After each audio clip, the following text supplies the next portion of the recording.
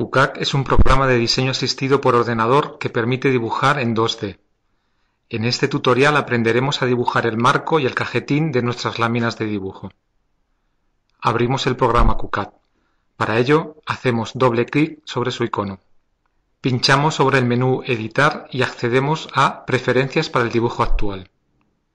Elegimos como formato de papel el tamaño A4 y como unidades de medida los milímetros.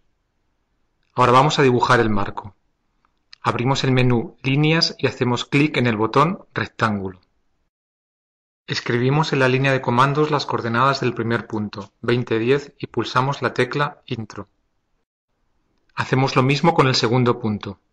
Introducimos los valores 200, 287 y pulsamos Intro.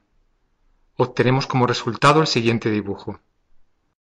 Ahora vamos a dibujar el cajetín en la parte inferior del recuadro donde escribiremos los datos del dibujo.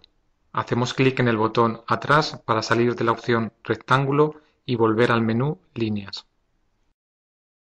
Pinchamos en el botón Paralelas a una distancia y completamos los campos de los parámetros distancia 25 y número 1.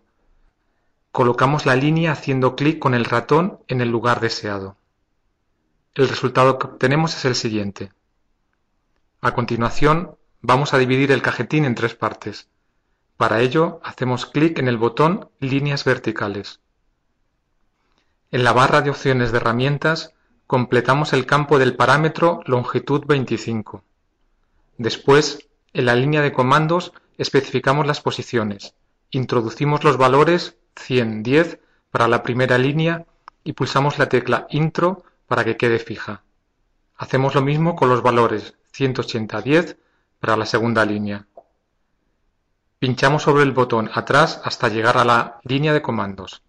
A continuación, hacemos clic en el botón Textos y aparece una ventana donde elegimos el tipo de fuente, la altura y la alineación.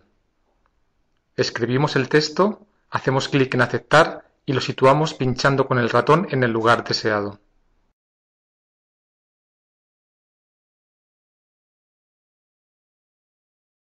Por último, guardamos el dibujo desde el menú Fichero Guardar.